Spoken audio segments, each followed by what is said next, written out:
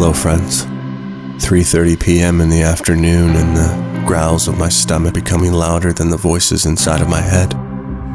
I hope you can relate. As I head to the kitchen, I'm hoping to find myself a most delicious snack. But all I see is this pile that I don't even remember buying. Why do we have so many snacks? This one in particular. Does anybody even like these?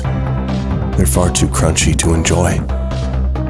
Now, I've found something that's way better, anyways. The perfect sweet potato crunchy chip. Mm, how glorious.